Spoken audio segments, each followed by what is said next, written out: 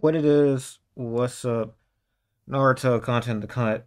I'm personally just shocked that I'm only one chapter behind on this because I feel like I haven't recorded a, a Boruto video in two years.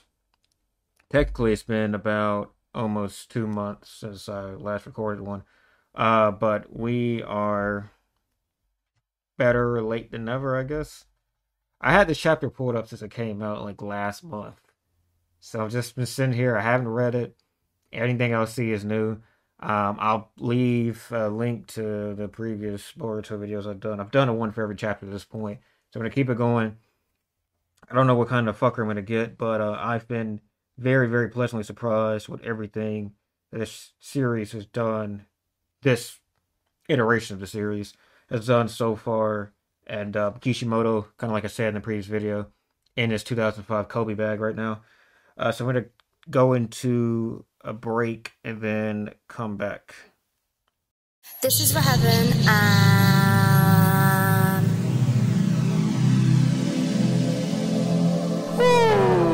All right, we're back. I turned the gain up a little bit. I don't know if it made a noticeable difference, but when doing streaming, I have a lot of background noise coming in, so this is a little bit different than streaming. I'm trying to be a little bit close to the mic here, uh, but if the audio quality is butt, just comment and let me know. Uh, chapter 6, Boruto, three years, and we have the little uh, Uzumaki symbol that has been here a couple times to this and in Boruto Part 2. Is it just weird to think about Boruto Part 2? The traitor Boruto A, why is he returning when he knows we want him dead for having killed the Hokage? I wonder if these are extension of Danzo's old kind of teammates. Not teammates, but um the people who were in the same council as Danzo. The Dai Daimyo so that's like the old head to kind of do the in the shadow overlording of each village. Um, I'm trying to remember like what kind of particular people we saw in original Naruto. Like when I said Danzo was part of this group, I'm pretty sure he was part of this council, and he just kind of like used his power amongst the council to announce himself as Hokage when Tsunade had to step down temporarily. So, kind of like basically Hokage have people they answer to as well. For anybody, I think not familiar with that concept, although they do have the final choice, obviously. But they're typically Hokage. Shikamaru is obviously a certain kind of particular situation. It's been three years. Appear to you yourself designated. Stop dallying and formally accept the title of Lord Eighth. You're weakening our position, not just with the Land of Fire, but the other villages as well and Shikamaru to kind of accept that Naruto's gone. As you would expect, he's pretty much been Hokage in name, but not Hokage officially. And that's kind of the vibe we got in Shikamaru hitting the blunt like a God, what's his name? His sensei. Uh he starts with an A. Fuck, I forgot his name. Sarutobi Asuma. Hitting that shit like Asuma. I'm guessing it's gonna be like some of the stuff he did as a kid, I suppose. You don't look so fucking good, bro. I wish he wasn't fucking a loser. I'm sorry, dude. I think objectively speaking, I would consider uh, Sai a, a loser. You know that off the record transmissions are a violation of regs. You know, something a rat. Yo, Ito was the coolest motherfucker in Naruto OG, man. Don't be a rat, dude. Don't be Sakura.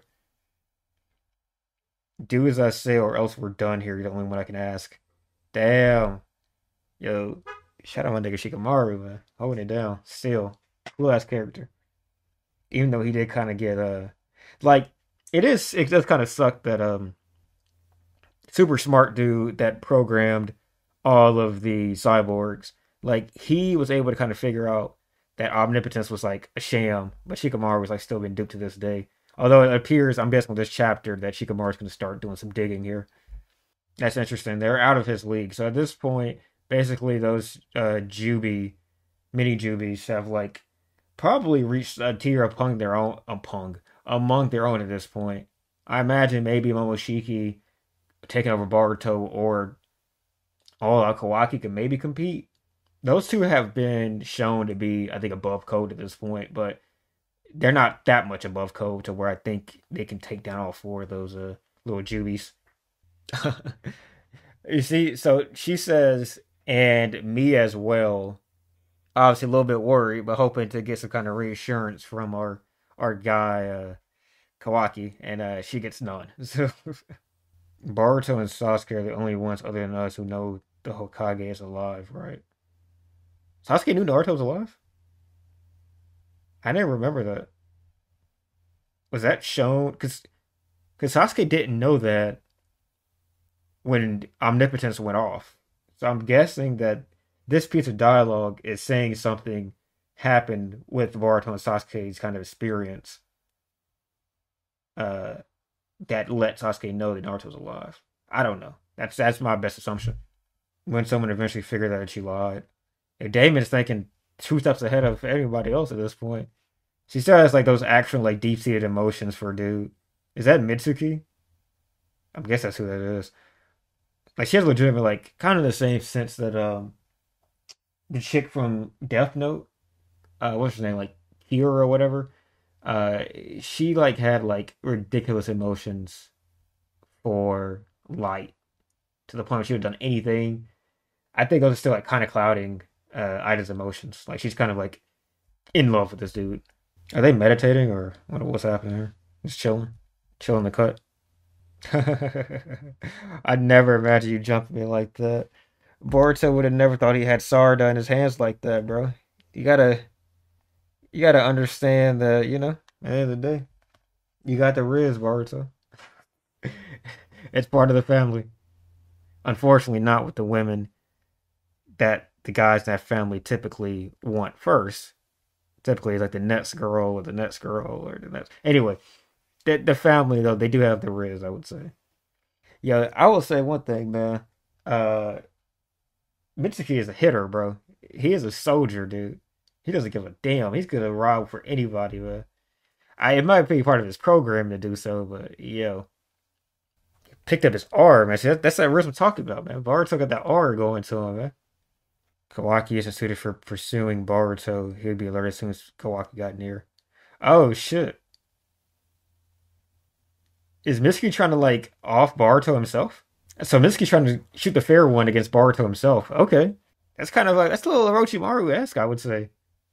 Snaking your your homie to do what you want to do. Excuse me.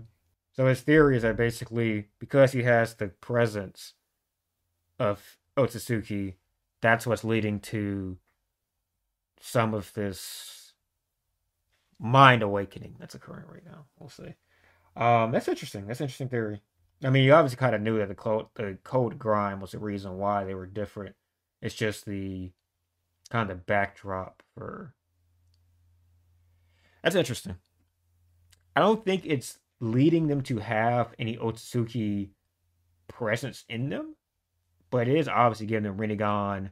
Um, they have sentience now, and they're looking for you know goals that that is a little bit different than uh so I, I do wonder kind of how that all flows in together. I guess we'll find out in due time. The sensory unit is not involved at all. You know, Yaka, Yamanaka, but personally connected us on a private line. It's unofficial transmission that won't be logged.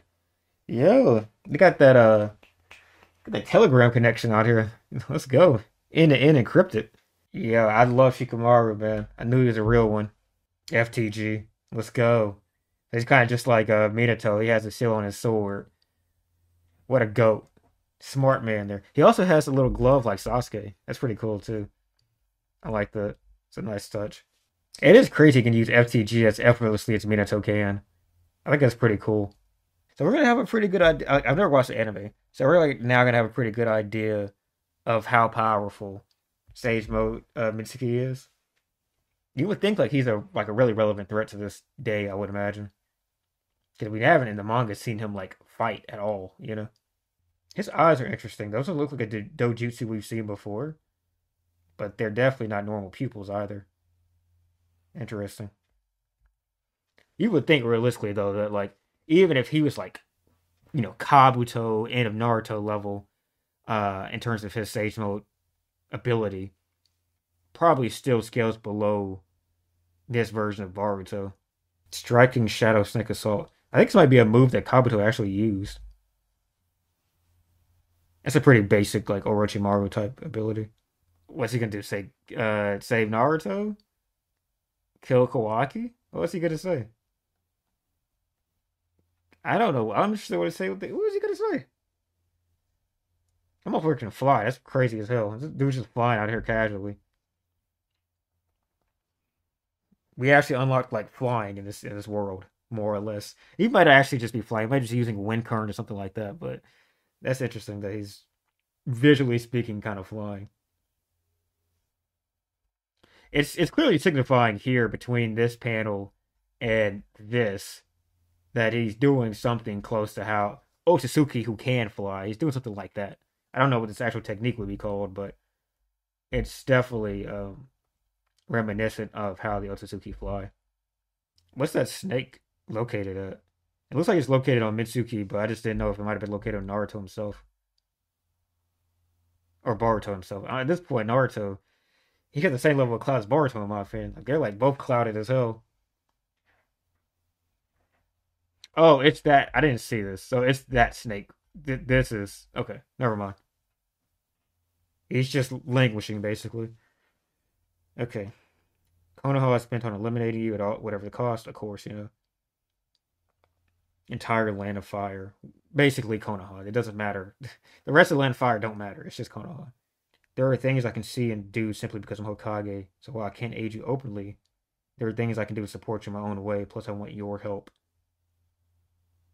You're actually Uzumaki Boruto. Let's go, Shikamaru. Come on, man. I knew Shikamaru wasn't a fucking invalid dude. I knew he was gonna figure it out. I knew that if if Amado could figure it out, that fucking Shikamaru should be able to figure it out. They're the same level of intelligence, more or less. You look at the narrative, like kind of explanation there. These are two comparable people in brain, and I know Amado has the advantage of like intimately knowing um, what a fake karma looks like, what a real karma looks like, code, Kawaki, their structure, uh, Eida's abilities. I know he has all that shit, but like Shikamaru is the big brain since day fucking one. I knew you'd figure it out, man. Let's go, Shikamaru. Oh, so Shikamaru. Damn, Amado told Shikamaru.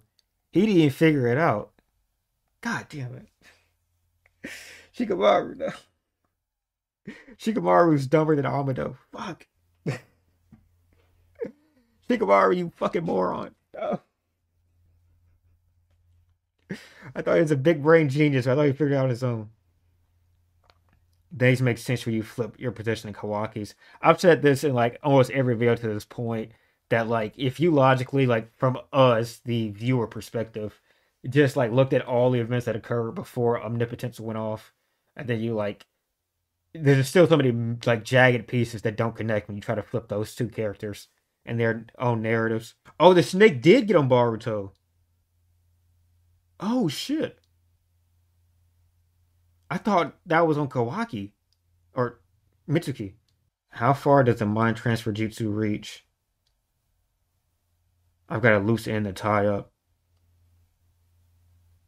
So he's gonna try to, I guess, kill Code. I guess. Oh, so it's it's for Mitsuki. Okay. I'm going to get a little rough with you. Okay. So that's who he's referring to when he said the loose end. So did he know the snake was on him? I've traveled quite a long way from the village. I should be beyond Kawaki's range now. How far does the mind transfer jutsu reach? In Ino's case, I think it's about 100 kilometers around the village. Why? I hate to break this off, but I've got a loose end to tie up. I mean, there's no surprise his facial reaction whatsoever. When he sees Kawaki or Mitsuki coming, he's not even like remotely surprised. I think he knew the snake was on him. My assumption is that he wanted to kind of beat some sense into Mitsuki. That's the only thing I can figure out is that that was the point of him, like landing where he did outside the range of Kawaki, almost outside the range of um, mind transfer jutsu. I guess he wanted to finish off Mitsuki. Well, not finish off, it's like kill him, but just like get him out the paint. Huh as far as my favorite panel, I'm biased, but him effortlessly using FTG is at this point like just his his pure ability with FTG is incredible. I really got to say that like he between his training with you know Sasuke even abilities that Sasuke would have no ability to develop, like FTG, which I guess he might have some ability because he's so familiar with Amenotejikara, which is a teleportation jutsu, in a sense. But um, it is very interesting that like basically Naruto's entire Boruto's entire floor got raised. You also got to keep in mind like this is Sasuke at his most base. Like he just has he has Eternal Mangekyo Sharingan, no Rinnegan. Uh, I think there's still some chakra boost that's he has that's from the power of the sages his paths. But basically, like this is the most fundamental Sasuke.